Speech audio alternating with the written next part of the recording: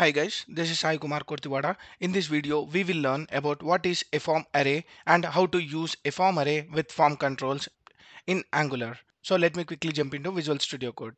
Here I have created a project with app.component.ts and app.component.html as a default files and now what I want to demonstrate is I want to show you how to use a form array. For creating a form array what I want to do is just I want to create a HTML first. So let me create a div and inside this div let me create a input field and with this input field I want to show some placeholder is equal to sample array form controls.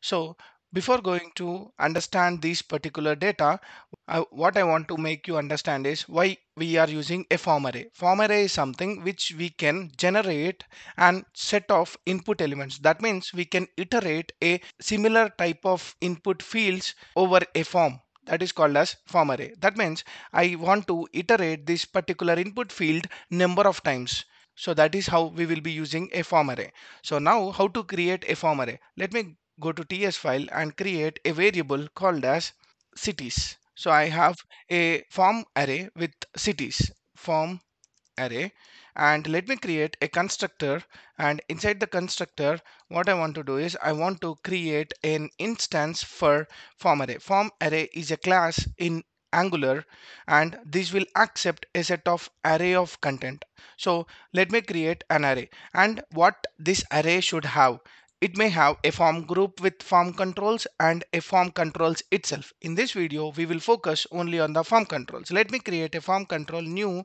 form control of an empty string so let me save this and now I want to loop this cities so let me go to the HTML and create a ngFor. As we know, ngFor is used to loop some content. Let control of cities dot controls. So what this controls will do, controls is a property which will give you an array of properties. That means let me give let i is equal to index and now I want to make this input field to bind with this form control inside our array. So we don't have any name for this form control.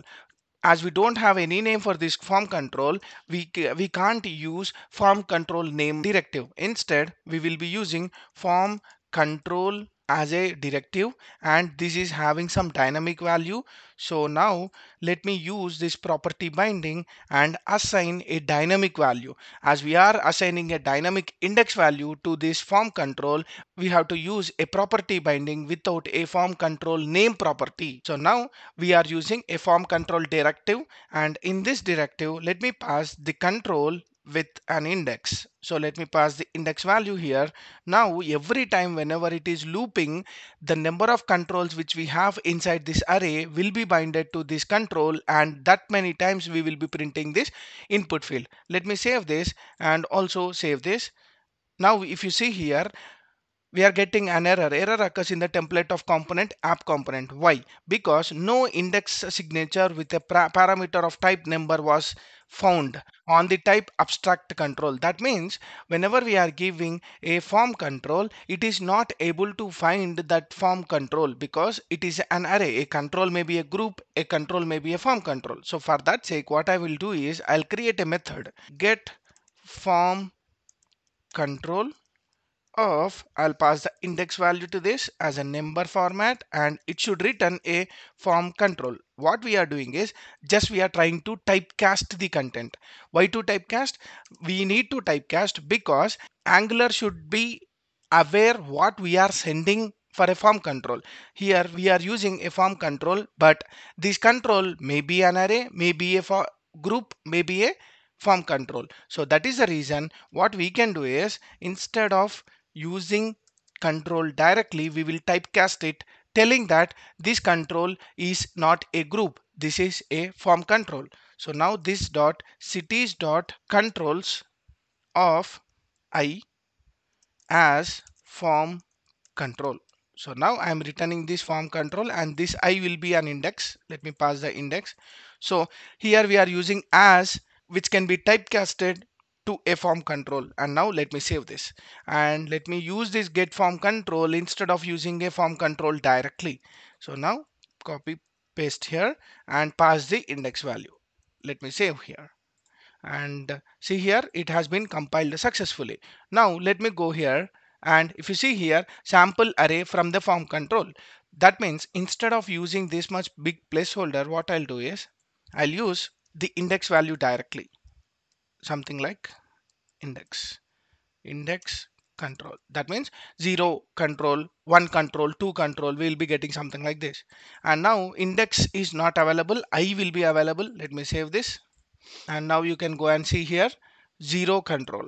And now what I'll do is I'll go here and I'll add one more control. Copy this comma paste here save this. Go here you will be seeing two controls that is zero control and one control. That means whatever the number of controls we are adding in this form control they are getting iterated and they are showing in this UI now after this all ng for let me create a button to see what how we will access them. Get array values. Let me create an event like click and this is something like show array values and let me create this method in my ts file. Go here. And this is of return type void because we are not returning anything. Just I'll want to console console.log of this dot cities dot value. So now we will be getting the values of this particular array. Let me save this and also HTML you see here we have created two controls. Let me reload. And now we got get array values. And let me enter I am 0 I am 0 control and I am 1 control. So now whenever I click get array values see here we are getting the array values directly in 0 index and 1 index. So we are using two controls and we are getting the array format. Now when to use form arrays. Form arrays are used whenever you want to loop set of content or html content which is having the inputs and the same type of UI should be rendered then we will be using a form array with form controls. And here whenever we want to send the data to the backend with a direct array format then we can use a form arrays. And a form array can have a arrays which accepts a new form control or a new form group or another array. A form array can contain a form control form group or form array. To access the values of a form array we will be using dot value same like form group because these all are inherited from an abstract control the only reason why we are typecasting is a form array can accept any of the control. That means a group a control an array. So all these group control and array comes under abstract controls. That means whenever we are assigning to a directive it is not able to identify whether it is a form control whether it is a form group whether it is a form array. So that is the reason what we are doing is we are trying to typecast and tell angular that this is not a form array or form group. This is a form control. So that is how we are able to give our value to a form control directive and to access them we are using a property called as dot value. In general this direct form arrays is not used more. We will be using and injecting a form array into a form group because always we focus to send the api via json format. We'll see more about these form groups and form arrays in the upcoming videos.